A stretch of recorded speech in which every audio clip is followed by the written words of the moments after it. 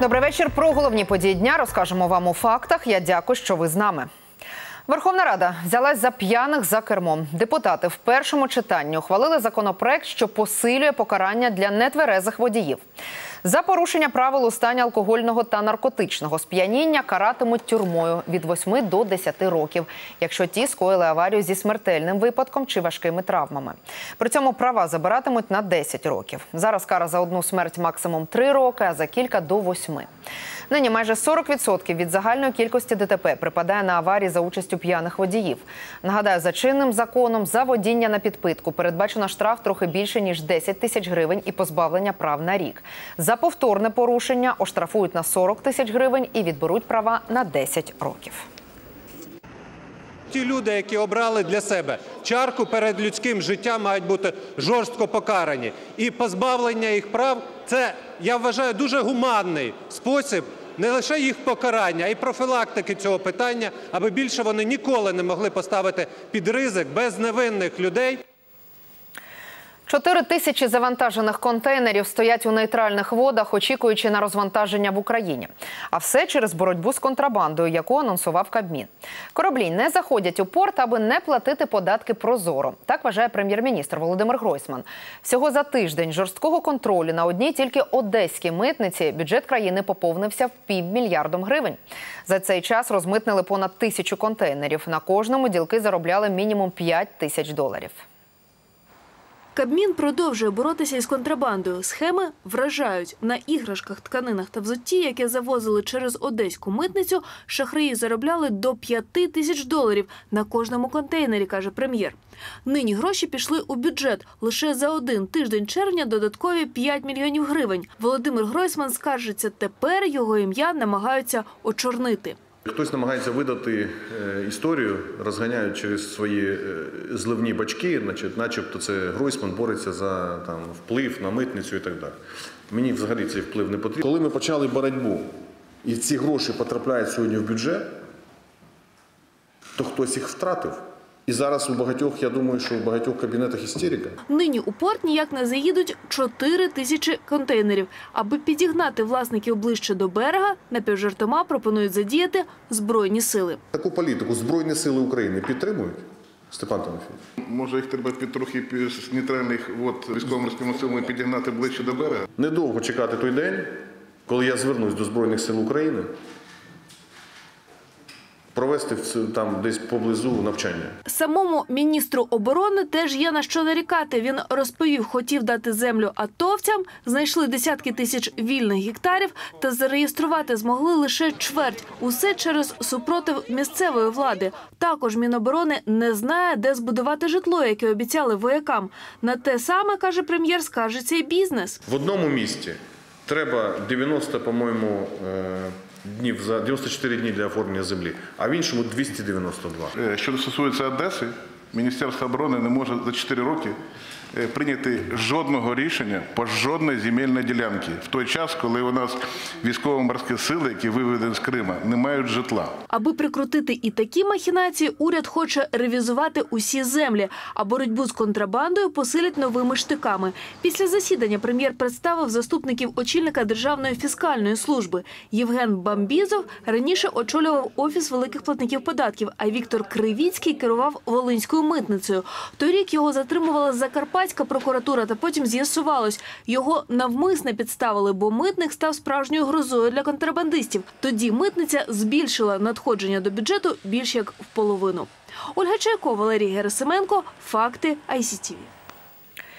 І тепер до подій на сході. За добу там поранення отримали двоє наших армійців. Із гранатометів терористи били по Кримському. Неспокійно було поблизу Зайцевого, Південного та Водяного. Попри це, у штабі запевняють, ситуація повністю під контролем. Українські військові надійно тримають займані рубежі. На Харківщині загинув військовослужбовець із Дніпра. На старшого сержанта Олександра Скуса наїхала бронемашина під час завантаження на потяг. Чоловік служив водієм-механіком у військовій частині оперативного командування Схід, яка тимчасово дислокувалася на полігоні в Чугуївському районі. Після навчань техніку планували переправити на Львівщину. Що спричинило смерть чоловіка, нещасний випадок чи службова недбалість командування, встановлює військова прокуратура та відкрили кримінальне провадження за статтею порушення правил водіння машин, що передбачає до п'яти років позбавлення волі. На Київщині знову отруїлися діти. Цього разу в дитячому санаторії поблизу Баришівки. У 17 дітей виявили гостру кишкову інфекцію. Троє з них перебувають в ізоляторі санаторію. Причину отруєння з'ясовують фахівці. Діти ж запевняють, що їм стало зле після того, як з'їли йогурт. Тим часом вже другу добу у комі восьмирічна дівчинка, яку отруїлася в таборі Славутич. Життєдіяльність дітини підтримують апаратно. За дівчинку борються лікарі Охмаддиту. Консиліум за консиліумом, але результати поки не втішні. Вже другу добу лікарі Охматиту борються за життя восьмирічної Марго. Вона досі у глибокій комі. Медики скупо коментують її стан і навіть не підтверджують діагноз, який озвучили у Держпродспоживслужбі – енцефаліт. Кажуть, батьки проти. Состояние ребенка остается крайне тяжелым на данном этапе. За то время, что ночью мы с ней работали, удалось достичь некоторой стабилизации состояния. Сейчас проходит целый ряд обследований. Она и на аппарате искусственной вентиляции. на лікарняне ліжко дівчинка потрапила після відпочинку у приватному дитячому таборі Славутич неподалік Переяслава-Хмельницького на Київщині. Марго, як і ще 11 дітям спортивної школи, які там тренувались, стало зле у понеділок зранку. Діти скаржилися на нудоту, слабкість та біль у животі. Сначала живот, потом чуть-чуть тошнило, а потом сильно начало тошнить. Усіх помістили в медичний ізолятор табору. Медиків з місцевої лікарні не допускали цілий день, доки надвечір дитина не впала в кому. Допомогти дівчинці не змогли вже і вони. Лише напередодні увечері, через два дні після отруєння, її відправили в Охмаддит. Решті дітей стало легше ще вчора. Батьки змогли забрати їх додому. Чим отруїлись діти, нині досліджують фахівці. Вони відібрали зразки їжі на перевірку. Результати будуть за п'ять днів. Але тут вже мають попередні висновки. Це зіпсований йогурт і винні спортивні тренери дітей. Тренера э, нарушили температурный режим, условия хранения йогурта. Они их забрали себе в комнаты, мотивируя тем, что на ночь лишние калории им не нужны. Э, И дали уже им в употребление аж на следующее утро. Чому стан Марго настільки погіршився, поки ніхто не може сказати. Лікарі лише натякають, у дівчинки могли бути і інші проблеми зі здоров'ям. За фактом масового отруєння прокуратура почала кримінальне провадження щодо недотримання табором санітарних норм. А Міністерство охорони здоров'я вже розіслало нагадування про існуючі норми усім закладам. Водночас, якщо результати дослідження підтвердять те, що причина отруєння саме в йогуртах, відповідати доведеться насамперед тренерам спортивної школи. Христина Гавриш, Олег Корнієнко, Максим Костенко. Факти ICTV. Сьогодні Українська національна поліція святкує три роки з дня створення. 2015 року на Софійській площі столиці присягу склали перші дві тисячі правоохоронців. Сьогодні на тому ж місці поліцейських привітав президент Петро Порошенко.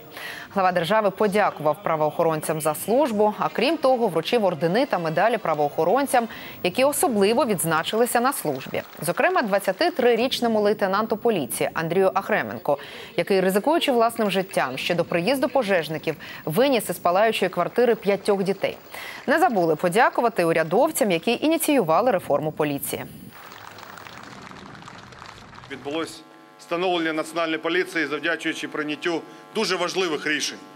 Я думаю, що буде справедливо, якщо ми всі сьогодні подякуємо прем'єр-міністру Яценюку, міністру внутрішніх справ Авакову, першому керівнику національної поліції Хаті Деканаїдзе і Сергію Князєву. Дякуємо вам. Переможниця цьогорічного Євробачення, ізраїльська співачка Нетта вкрала пісню. Так стверджує один з найбільших у світі звукозаписних лейблів Universal Music. Ця компанія є автором пісні Той, з якої ізраїльтянка перемогла на конкурсі. В компанії запевняють, що пісня є плагіатом хіта Seven Nation Army групи The White Stripes. Згідно з правилами Євробачення, пісні учасниці конкурсу повинні бути оригінальними. Якщо плагіат доведуть, то Ізраїль втратить право на проведення конкурсу в наступному році. I'm not your toy,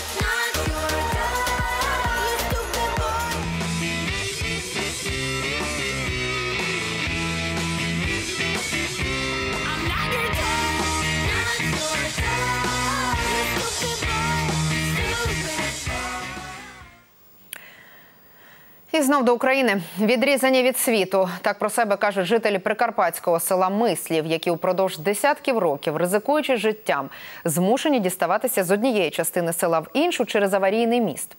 На ньому вже не раз провалювалися селяни. Одна людина навіть загинула. Та ремонтувати небезпечну переправу чиновники не поспішають, оскільки, як виявилося, міст нікому не належить. Величезні діри, поржавілі конструкції і гнилі дошки. Так нині виглядає переправа через річку Луква, яка з'єднує дві частини села Мислів. Попри аварійний стан, селяни і далі щодня нею користуються. Ходіть. Лише по двоє, по троє, трохи лишаєтеся і по двоє, по троє ще. Іншого шляху, як дістатися протилежного берега, немає, бідкаються люди. Найближчий міст аж за три кілометри звідси, але він не у кращому стані. Тому куди б люди не йшли, на роботу, до школи чи в магазин, усі через цю переправу. Тому що коли е, хмурна погода або дощ паде, наша лавка дуже ховстка і можна упасти легко з неї. Цей міст звели 30 років тому. Відтоді капітально не ремонтували. Лише кілька разів самі селяни міняли гнилі дошки. Та від нещасних випадків це не вберегло. У нас був такий случай давно. Чоловік проходив цим мостом і теж проломився, впав і вбився на смерть.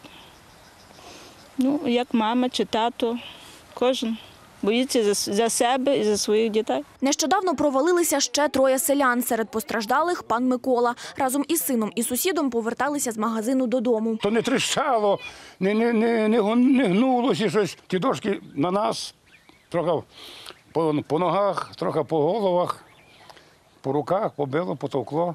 По, були і синці, були подряпані. На місці обвалу утворилась величезна дірка. Тепер, щоб вийти на міст, люди несуть із собою драбину. Тако. Видите, як я добираюся. А молоді діти до школи.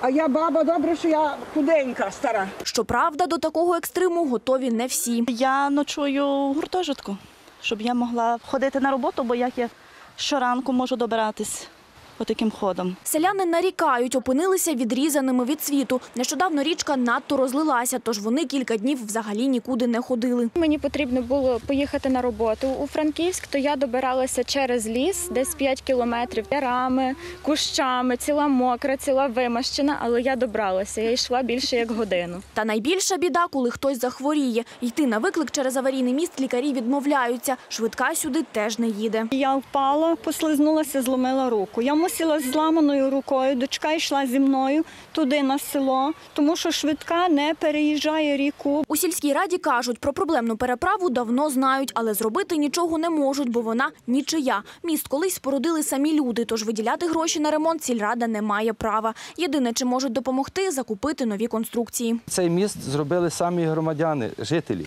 Він не знаходиться ніде на балансі. Буквально вчора я привіз швелір.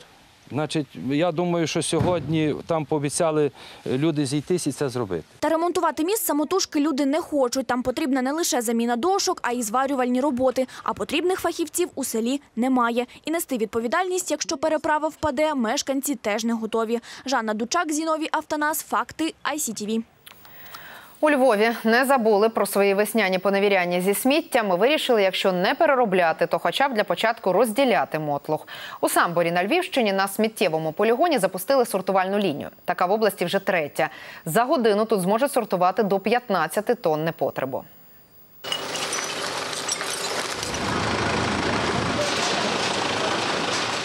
Так розділяють непотріб на сортувальній станції у Самборі, що на Львівщині. Спочатку відходи транспортер підіймає у спеціальний барабан із сіткою. Крізь неї відсіюється дрібне сміття. Далі мотлох сортують вручну, ось у цьому вагончику. На початку робочого вагончика відсортовується клійонка, картон і папір.